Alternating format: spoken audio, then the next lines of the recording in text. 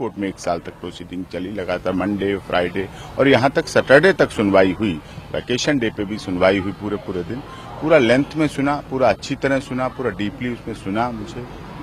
और हमें आशा ही नहीं, अपनी तो पूर्ण विश्वास है कि जो हमारे देश का संविधान, हमारे देश का सुप्रीम कोर्ट कहता है कि न्याय सबके लिए हो।